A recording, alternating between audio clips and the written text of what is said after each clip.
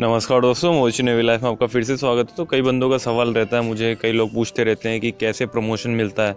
अगर हम OS rank पे सेल करते हैं वाइपर रैंक पे सेल करते हैं जी रैंक पे सेल करते हैं तो क्या हमको ऑन बोर्ड प्रमोशन मिलता है, वरना कंपनी में आके हमको बोलना पड़ता है? देखो प्रमोशन ऐसा होता है, मेरे हिसाब से मैं आप लोगों को बताता हूँ। अगर आप एक सेम कंपनी में जैसे सेल करते हो, जैसे कोई भी कंपनी में आप, अगर एंग्लो ईस्टर्न में आप गए एंग्लो ईस्टर्न में आपने कंटिन्यू सेल किया एज ए ओ रैंक पे गए या उससे लोअर रैंक पे गए आप तो जिस रैंक पे आप जा रहे हो, वैसे एक, दो, तीन सेल आपको लगातार मारनी पड़ेगी उसी कंपनी में। अगर आपको प्रमोशन चाहिए एज अ सेम कंपनी में, जैसे एंग्लो में ही आपको प्रमोशन चाहिए तो आपको उस कंपनी में तीन, चार सेल लगातार मारनी पड़ेगी। आपने तीन, चार सेल कंटिन्यू उस कंपनी में मार ली। अगर अच्छे से आपका रेपुटेशन ठीक ठाक रहा तो कंपनी जो होता है, जिस जिस वेसल्स पे जाओगे आप तीन, चार सेल के बाद, जो चौथी या पांचवी वेसल होगी, वहाँ पे आप जो भी कैप्टन है, उससे आप बोलो अप्रोच करो कि, सर, मेरे को प्रमोशन चाहिए।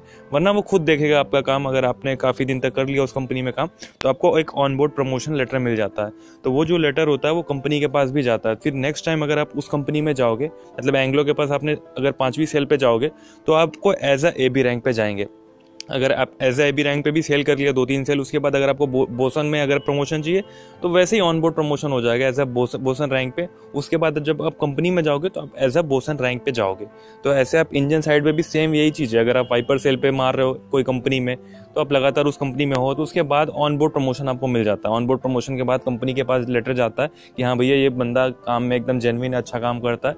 तो आपको company as a next time promotion करके भेजेगी और आपकी जो सैलरी होगी जैसे ओएस की सैलरी ले रहे थे या वाइपर की सैलरी ले रहे थे तो आपको एज ए बी और ऑयलर की सैलरी मिलेगी नेक्स्ट टाइम अगर ऑन बोर्ड जाओगे। तो यही होता है प्रोसीजर ज़्यादा कुछ नहीं होता। अगर एक और चीज़ होता है, अगर आप ऐसा कोई मतलब एक कंपनी में आपने सेल कर ली, जैसे ओएस रैंक पे, दो दो ओएस रैंक पे आपने सेल कर ली, उसके बाद आप कोई दूसरी कंपनी में जा रहे हो, अगर उस कंपनी में अगर आपको आप गए तो उस कंपनी को अगर ऑयलर या ए चाहिए, ज़रूरत है उसको अगर आपको, उनको ज़रूरत है उस कंपनी वालों की कि ए बी ऑयलर हमको चाहिए तो आपको अगर आपके पास एक्सपीरियंस है ओ एस का भी एक्सपीरियंस रहेगा तो चल जाएगा। तो उस कंपनी में जब जाओगे तो एज अ ऑयलर रैंक पे आपको भेजेंगे। अगर आप सेम कंपनी में रहोगे, उनको ज़रूरत नहीं है तो आप, आपको as a O S rank पे ही भेजेंगे। अगर आप कंपनी चेंज करके कोई और कंपनी में जा रहे हो तो एज अ उनको ज़रूरत है तो एज अ आपको रैंक बढ़ा के भेजते हैं। तो ये होता है प्रोसीजर ज़्यादा कुछ घुमा फिरा के प्रोसीजर नहीं होता है, वरना आपको उस कंपनी में सेम कंपनी में हो तो आपको ऑन बोर्ड प्रमोशन मिल जाएगा, फिर आप जैसे जैसे जाओगे सेल वैसे वैसे आपका प्रमोशन हो जाएगा। यही होता है प्रोसीजर ज़्यादा कुछ वो नहीं होता।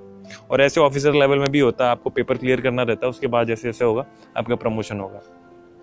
तो जो भी होगा मेरे कमेंट करना। आज के लिए बस इतना ही है, कई बंदे सवाल कर रहे थे। So thank you for watching this video thank you bye